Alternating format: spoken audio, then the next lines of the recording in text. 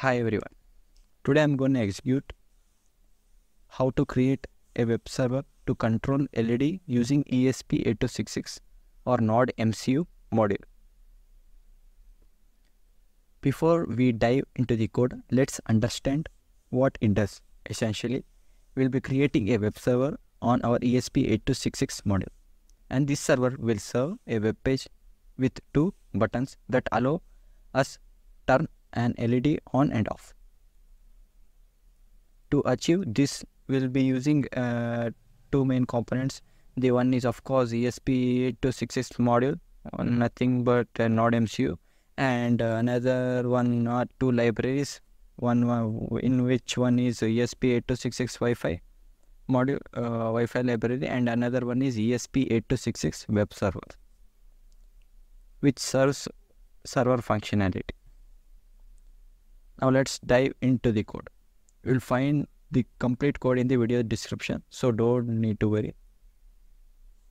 We'll start including necessary libraries ESP8266 Wi-Fi.h and ESP8266 server web server.h to enable Wi-Fi connectivity and set up the web server.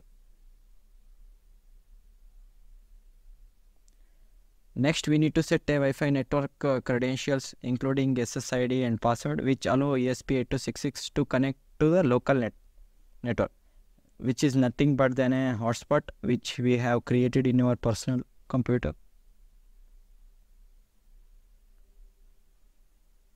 And we initialize the web server on port 80 which is default HTTP port. The HTTP is nothing but hypertext transfer protocol this is where our web server will listen for incoming requests. We, we have created an HTML web page as a constant string. This web page will serve to clients uh, connecting to the ESP8266. Now let's move to handler function.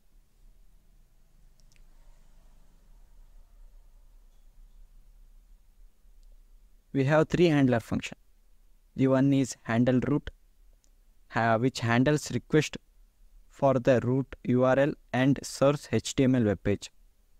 And an another one is handle led on. Turns led which turns led on and sends a response saying led on. When the uh, turn led on button is clicked. And another one is handle led off.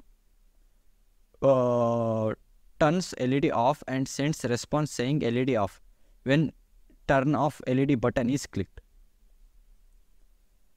Now let's look at the setup function.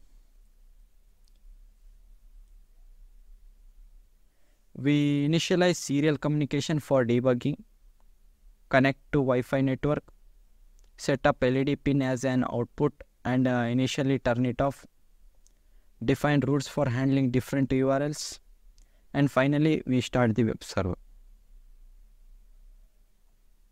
The loop function is where the magic happens.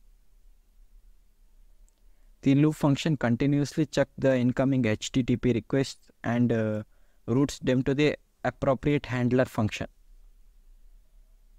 Now let's push this code into action.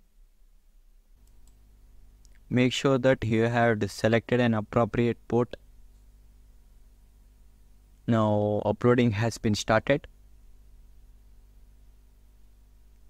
First it need to be compiled and then it need to be uploaded.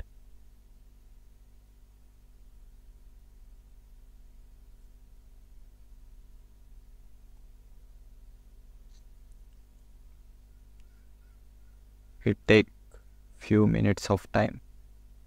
Yes, uploading has been started.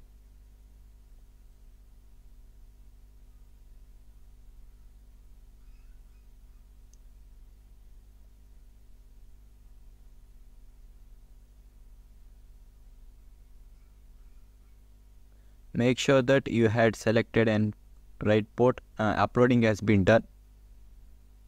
Now you can see that go to settings and uh, select hotspot.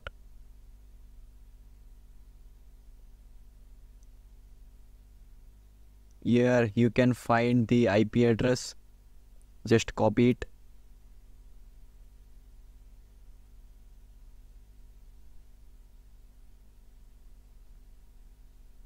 and paste it in Chrome or any web browser.